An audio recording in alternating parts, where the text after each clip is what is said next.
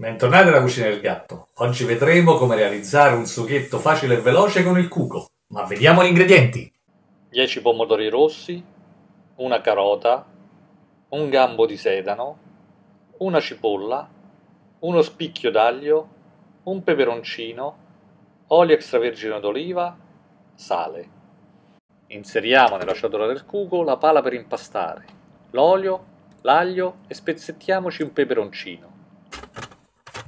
Facciamo soffriggere per 5 minuti impostando il programma P1 a 130 gradi.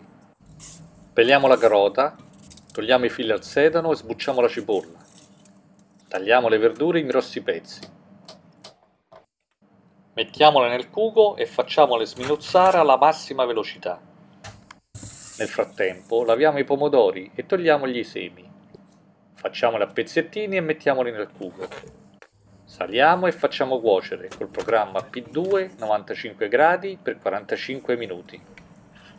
Ricetta ti è piaciuta? Clicca su mi piace e iscriviti al canale. Alle prossime ricette del gatto.